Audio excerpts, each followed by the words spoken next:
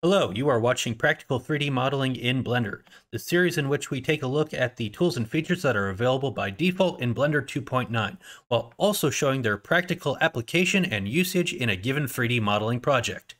In the last video, I challenged you to go out and find an item that you wanted to create one for one in 3D.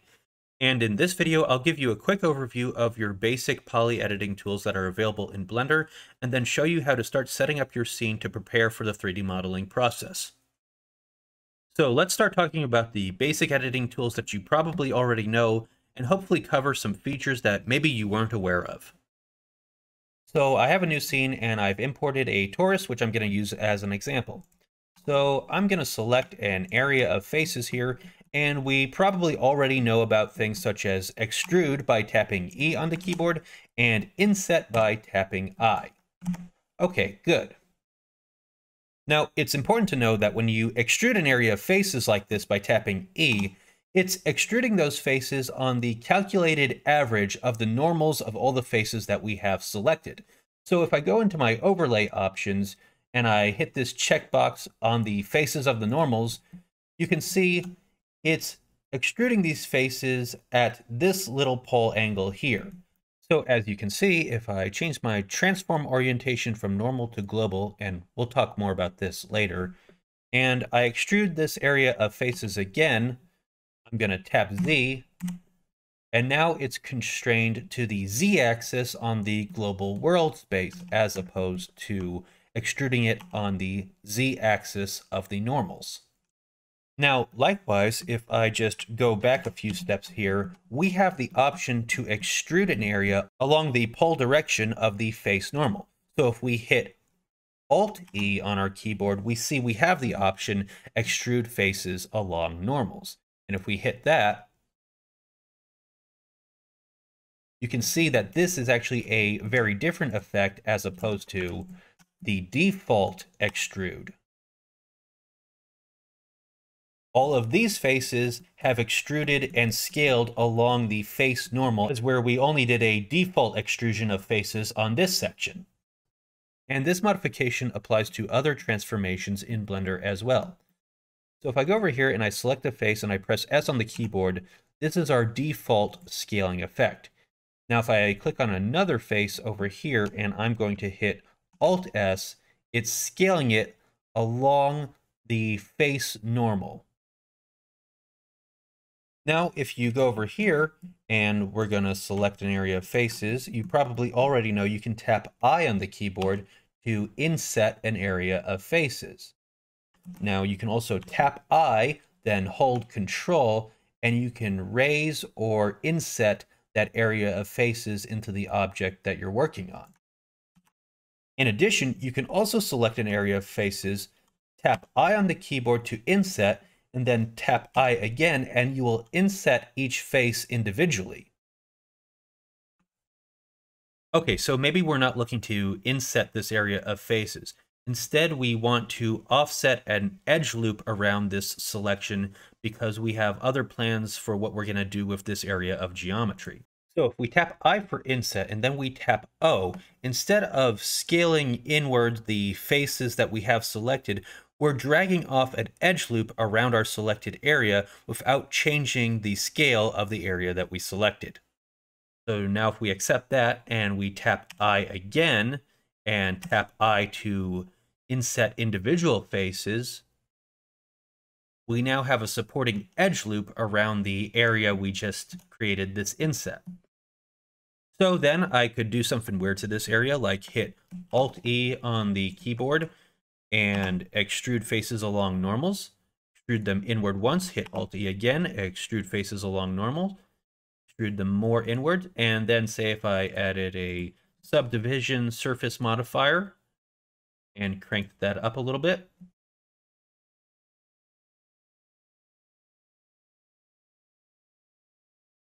Next, we'll use this little cube to start talking about bevel. Now, pretty much all of us probably know about Bevel already because it's one of the most used tools that you'll probably employ during your 3D modeling process, but there's a bunch of other little features that you might not be aware of that are really helpful to know about. Okay, so let's talk about what everybody probably already knows. Select a face, hit Control B, and you create a bevel. You can drag in or only drag out slightly for a tight bevel, drag out far for a really wide bevel.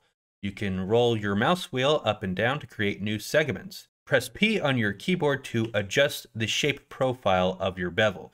Drag all the way out for a perfect 90 degree angle with supporting edge loops.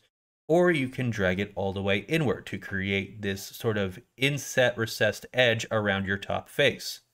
Once you click off confirming your beveled options, you still have controls to change anything before you go on editing in this little bevel menu. If it doesn't pop up here, then it's just collapsed down here below. Hit the arrow to see your bevel options. The default bevel when you start in Blender is usually set to 0.5. Now, beveling a single face like this is generally a safe transform, meaning that all the faces that we have just created are quads, meaning every face has only four vertices. And every other face on our cube that wasn't edited still retains four vertices. However, if we were to press 2 on the keyboard to go into edge select mode and bevel only a single face, then the new face that we created is a quad with only four vertices, but you can see that we also created two faces on each side of the cube that now have five vertices. This is called an n-gon, which is any vertex, which is any face that has more than four vertices. Now, generally speaking, n-gons are not good for your 3D modeling process, but they're not as evil as everybody makes them sound. My doctrine when it comes to n-gons is as long as they are completely flat, surrounded by a border of quadded topology, and as long as Blender can easily solve them with a triangulation modifier, then they're allowed to hang around on my model as long as they want. So be aware of that whenever you bevel an edge. Now, if I go back and I press 1 on the keyboard to go into vertex select mode, I'm going to select one vertice and I'm going to hit Control B. Now, nothing's happening until we press V on the keyboard, and now we are beveling a single vertex, which creates this triangle. Furthermore, if we go back to edge select mode, we select an edge, hit Control B, tap V, now we're just individually beveling both vertices that were selected on that edge. Now you can still roll your mouse wheel to further divide that triangle, and you can also change the shape profile. But as you can see, some weird things will happen when we start doing that. Now if we confirm, just be aware that we have created some pretty large n-gons on multiple faces of our cube. Another thing to quickly mention is that if we select these two opposing edges right here and we hit Control B, as we bevel and we keep dragging out, eventually we might get to a point where both those beveled edges start crossing over each other. And that's going to create some really weird effects on our geometry. So if you don't want this happening where any of your beveling is intersecting and overlapping with each other when you bevel, then just tap C to clamp the overlap. And that will stop that beveled edge once it meets with another edge. And that is just a quick overview of the basic modeling tools in Blender, covering all the features that I use routinely whenever I'm 3D modeling.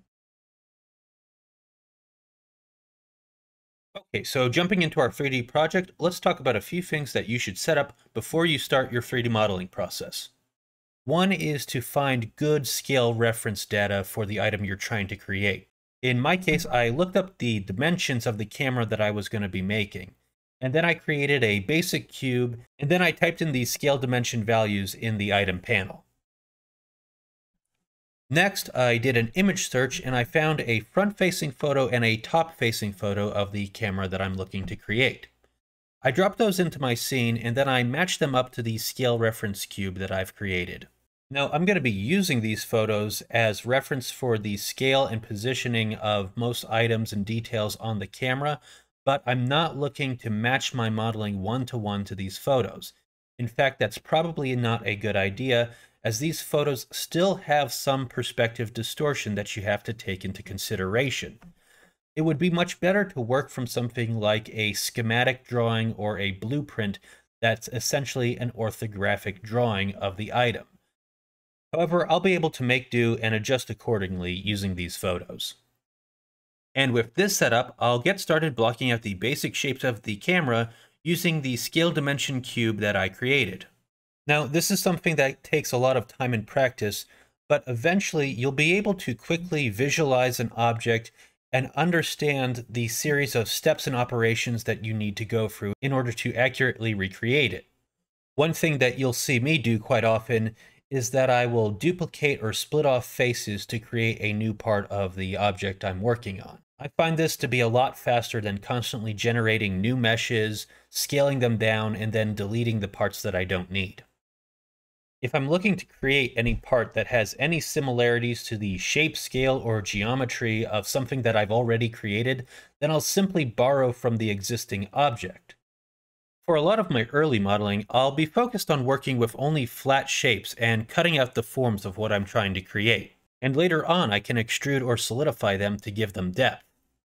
For my previous weapon design projects, I actually did most of the initial modeling by simply cutting out the major shapes with a single plane, and then later gave them depth by using a solidify modifier.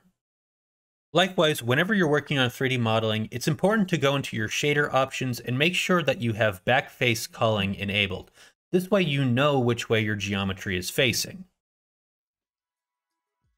So this covers our basic polymodeling tools and what you need to know about setting up your workspace in Blender for 3D modeling.